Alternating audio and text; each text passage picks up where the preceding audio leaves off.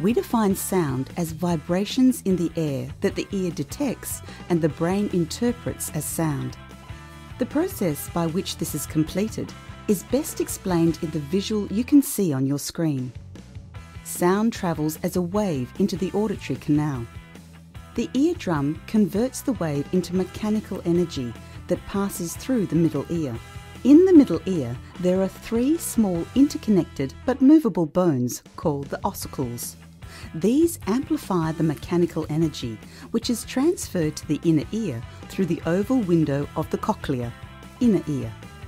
The ossicles tap on the oval window, causing vibration of the fluid in the inner ear, and this movement passes through the fluid-filled cochlea. In the cochlea are millions of hair cells called basilar hairs. As the fluid movement passes over the hair-like cells, they vibrate at frequencies of up to 20,000 times per second. This could be likened to the movement of seagrass with the ocean waves passing above.